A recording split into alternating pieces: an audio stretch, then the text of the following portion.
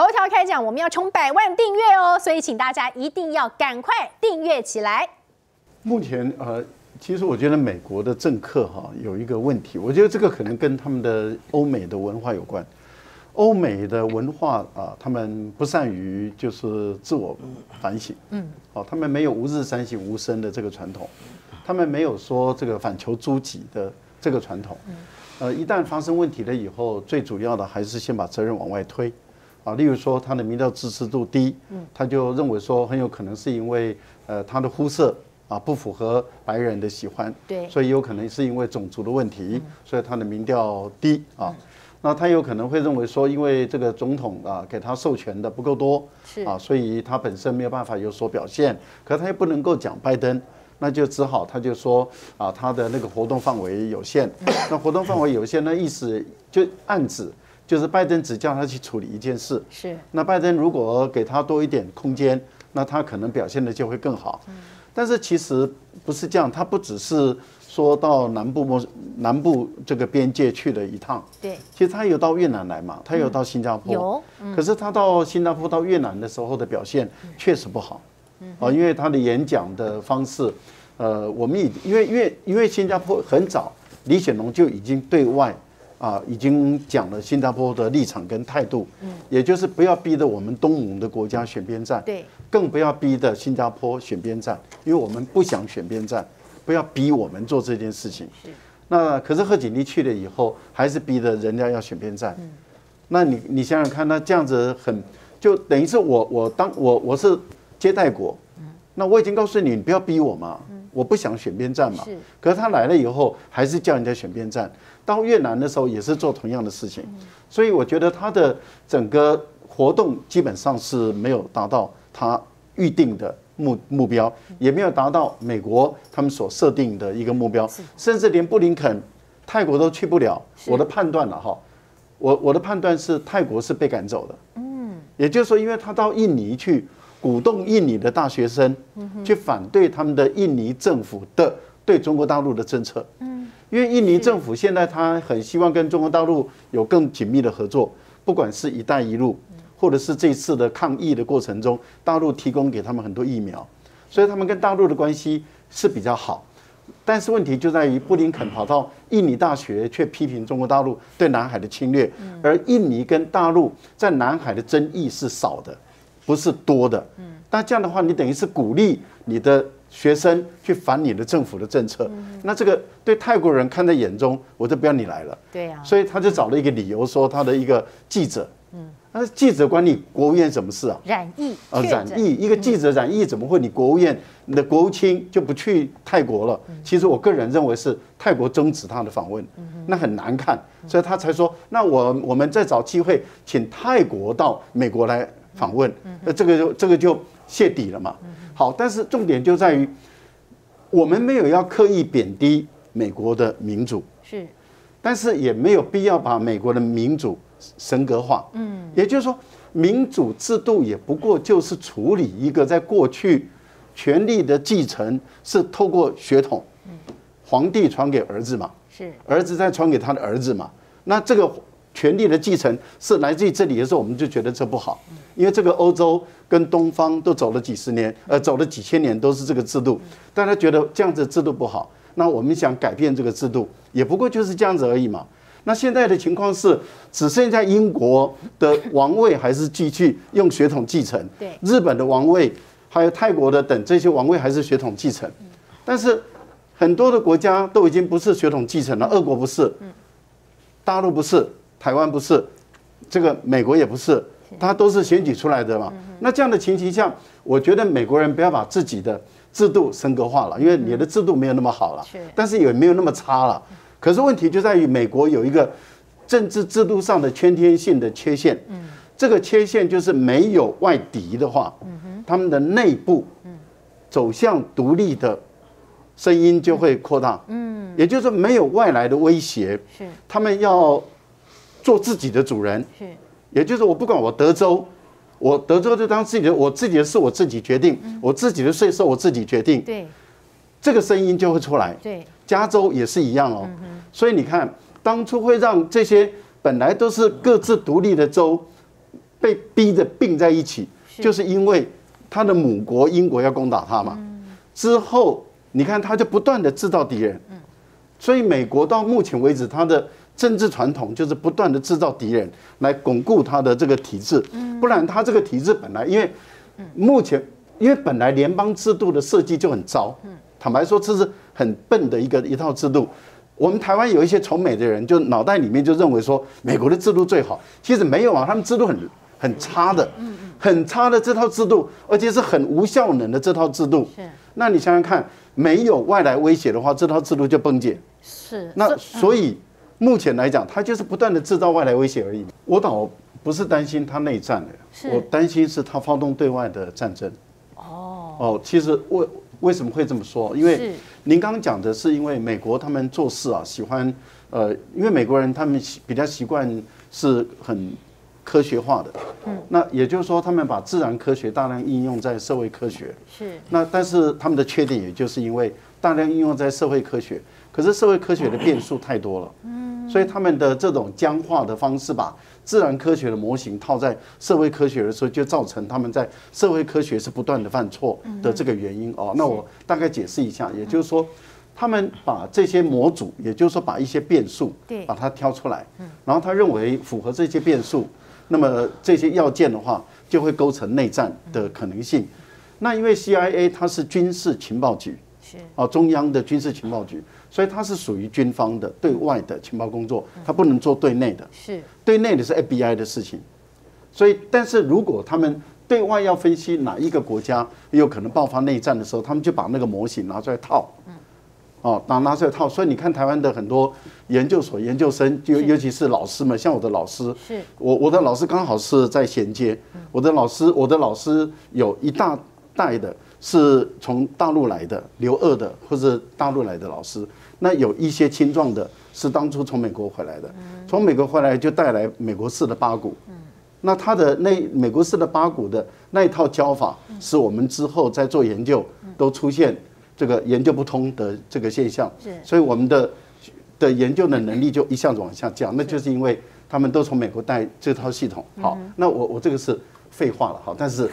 我我自我的反省，啊，自我的反省，因为当初我们都相信美国的那一套。后来我就发现那套真的是错的啊！好，那我要强调一点，就是说，美国用这个模型 CIA 去评估哪哪一个国家会发生内战。对呀，而且都可以评估别人，但不能评自己。哎，他是不能调查他们自己。但是他退退休了以后，他就可以用这个来检视他们美国自己的体制。对，他就发现也符合这个内战的要件了。对，所以美国离夜战很近，可是呃离内战很近。可是我觉得，呃，他又漏了一个历史的研究法，也就是说。你看，美国在二次大战结束以后，就跟苏联产生对抗的一个方式，是那是美国先组北约哦，华约、华沙公约组织是被美国逼的成立的，啊，不是先成立华沙公约再成立北约，是先成立北大西洋公约组织，要来对付前苏联集团，是苏联集才成立北华沙公约来对抗它，但是美国人的说法就是把它颠倒，那台湾的。就受美国影响，也就把它颠倒过来。好好，这是不讲的。重点是在于创造冷战这么长的时间，一直到苏联崩解，那这个时候美国该怎么办？就是一九九一一直到之后该怎么办？所以后来又创造出一个所谓的国际恐怖主义，是，就是两千零一年九一一，创造出这个国际恐怖主义。这个国际恐怖主义，你看走到最后，国际恐怖主义也结束了，在。在奥巴马时代是把贝拉登杀了，国际恐怖主义的突然间没有了，突然间呢，从小布希一直到奥巴马突然间没有，没有的时候怎么办？嗯，没有怎么办呢？嗯，所以你看，川普就突然间创造出中国是最大的威胁，哦，然后拜登又把中国跟这个俄罗斯把它创造出最大的威胁，总要找个敌人就对，俄罗斯是俄罗斯的总统是也是直接选出来的。中国大陆的国家主席也是他们这个选出来的，只是说选举的方式不一样而已。但是重点就在于，也是选出来，而且不是血统继承哎，不是父亲传给儿子哎，是选出来的。所以在中国大陆来讲，你看从毛泽东、邓小平，或是啊从这个呃这个这个胡耀邦、赵紫阳、江泽民到胡锦涛到到今天的习近平已经换了多少代，而且都不是都没有血统关系耶。是，但是呢，他们一定要把它归罪为说什么啊？他们是独裁专制，其实都是选出来的。但重点就在于，都是选出来，而且都不是血统继承。但是美国人一定要这样子跟你编，那因为美国人大部分是呆子，啊，也这样讲也不对了哈。因为美国人很多人没有受到。呃，独立思考的能力，而且对外国不太了解，所以他们根本不知道俄罗斯的政治体制跟中国大陆的政治体制，然后他们就完全相信了。现在的情况是我担心的是，美国他们的政客、华府的政客，如果真的发现他们内部可能会发生内战了，嗯，这个时候他们对外发动，例如说挑拨台湾，哦，两岸之间战争，是美国就拉着日本、韩国等，因为他你看现在他在部署。跟美国呃，美国跟部署跟日本要签联合作战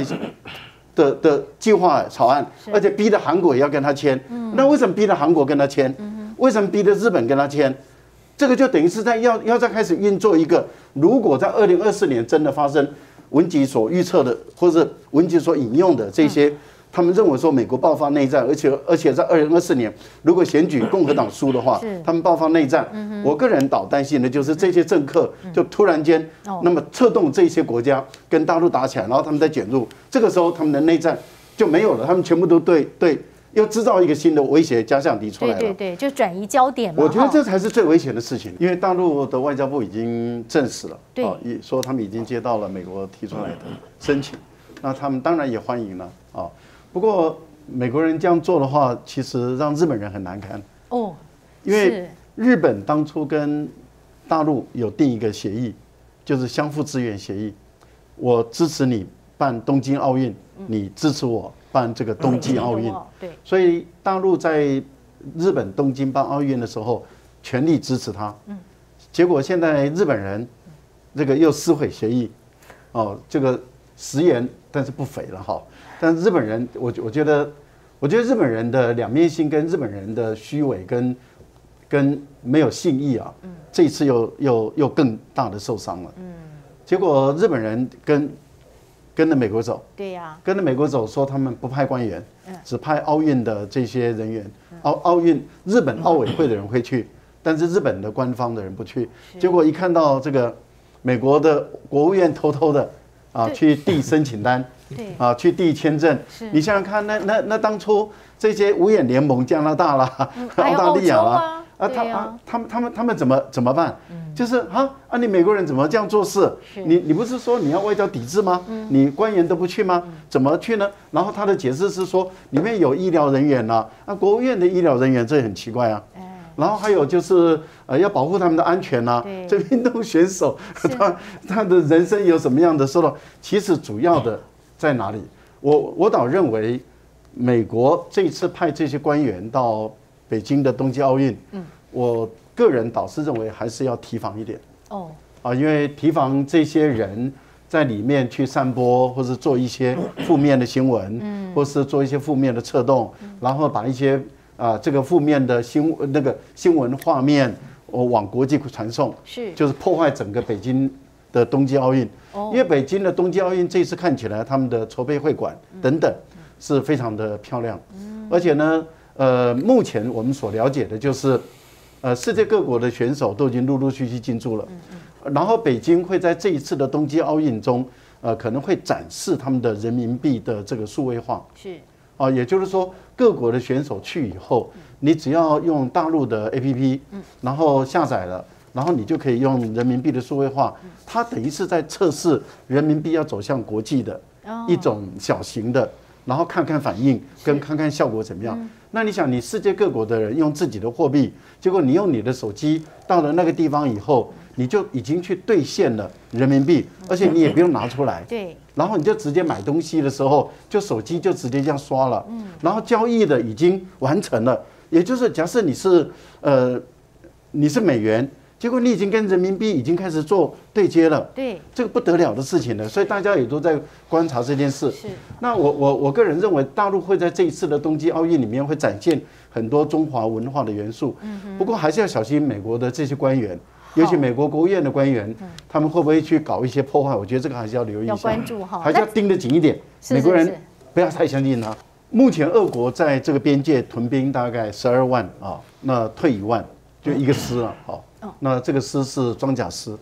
所以他撤离的速度很快，但是他要再回来的速度也很快，哦，啊，这第一个，第二个呢，就是说你撤回去他的永久驻地的时候，呃，他其实反而是军队的空间更大了，嗯，因为他目前来讲，十二万的军队集结在那个地方已经够了。一般有人估计他可能会屯兵到十七点五万，在下个月左右。嗯，那这个就是要发动大规模攻击的一个架势。是，呃，但是问题就在于说，对俄国人来讲，他的屯兵的目的是要用军事的威胁，然后他要完成他的外交的谈判。那目前来讲，普京已向呃美国提供一个条约，嗯，就是希望美俄关系正常化。的条约，这不是协议哦，是条约。那关系正常化的意思，也就是美国要取消对俄国的所有的制裁。嗯，那目前来讲，美国已经收到这个草案了，但是美国目前没有回应啊。这个就是您刚刚所提的，在下个月啊，应该在下个月上旬左右，他们要举行会谈了。对，啊，这个是可能会列为讨论的。那第二个呢，普丁也同时给北约是一份协议。啊，这个协议就刚你刚刚讲的，五百到五千就是短程跟中程的导弹要撤离俄罗斯的边界。是，这第一个，第二个，北约的军队要撤离跟俄罗斯的边界。那俄罗斯的边界里面有很多北约的盟国，啊，例如说波罗的海啦、波兰啦这些，一直沿的到到俄罗斯这边来。那他普丁的要求是都要撤离，这个作为他的谈判的。一个条件，那第三个条件就是北约不准在东扩，啊，不管是乌克兰或是格鲁吉亚啊，都不准再并入北约。所以他提出了几个条件。那这个条件如果说你北约不答应的话，那俄罗斯就不排除会立即有军事的动作。这个就是我用武力啊来去逼着你外交谈判。这个你也可以把它称之为上兵发谋。哦，也就是我武力摆在那地方，但是我没有攻。那攻城为下嘛，对，但是我没有攻，是，但是我只是把武力摆在那地方，然后让你猜不透我到底要干什么，哦，那当你猜不透，你就会想象，那你会想象，你会恐惧，是，那你会恐惧，那我们再来谈的时候就会比较好谈。我觉得这一招在我我我已经我我曾经讲过，这一招在过去拿破仑的时候也用过，嗯，但是拿破仑是先把部队打到你这这个首都。例如说打到你维也纳，然后兵临城下的时候，部队就不进城了，嗯，就部队就屯守在这个维也纳外面，嗯，然后派外交官到这个维也纳跟他们的国王或者跟他们的首相进行外交谈判，嗯，通常谈判都会很顺利就完成，那最后部队进去的时候就是兵不血刃，就把这个城市或者把这个国家就并进来了，但是给。皇室给皇族一个非常优渥的一个条件，这个是过去拿破仑常用的手段，但是他是把部队先打进去。那现在普京的手的手法就是我部队不进去，在我自己的边界，我自己的境内，你不能够管我。对。但是你不知道我什么时候会进去，那这个你会心生恐惧。我觉得普京的做法是有一点不一样，但是也有我们的兵法的概念在里面。我觉得影响最大的还是美国。因为美国有租用菲律宾军事基地，过去美国是长期使用菲律宾的军事基地，可是，在阿基诺叫阿基诺，艾奎诺，艾奎诺，呃，艾奎诺他妈妈执政的时候，他们那个时候就修改宪法，也就是外军不能够永久居住在呃美国，呃，不能居住在菲律宾，是，那因此呢，美国后来只租借菲律宾的军事基地，而且不能超过六个月。所以美国一定要在六个月要移访一次，哦，就搬一次家。那这个杜特地这样的一个宣布，等于是至少在他任内，菲律宾的基本的政策就是他保持中立，对，保持中立就是任何一个国家不可以使用菲律宾的境内，嗯，不能过境，是。不能使用菲律宾的军事基地作为介入台海战争的啊一个基地。所以也就是说，如果两岸之间发生战争的话，美国必须要从菲律宾的军事基地要全数都要撤离。嗯，好，我觉得这是一个一个很大的一个宣示。那也就是说，影响最大的是美国。嗯，那也就是对美国人来讲的话，他就必须要死了这个心，至少这个杜特地在任内的时候，如果两边发生战争，美国要介入，那他就不能够用这个菲律宾的军事基地。那它另外一个部分里面，也就是说，如果是在南海发生交战，不是中国大陆跟呃菲律宾发生交战，如果是中国大陆跟呃美国在南海发生交战，那因为菲律宾已经宣布它是中立国，所以美国也不能够使用菲律宾的军事基地跟中国大陆在南海交战。那美国在越南没有军事基地，在菲律宾也没有军事基地的话，美国而且新加坡也不会允许它使用军事基地跟中国大大陆交战。那你说美国怎么打？秦教官下召集令，支持中天的好朋友们，疫情呼吁大家加入订阅冲刺的行列。距离百万订阅呢，只剩下不到十万的差距了。希望可以在年底之前达成百万目标。所以朋友们，让我们一起来共创二零二一的奇迹！按赞、分享、订阅，让全球的华人都看得到。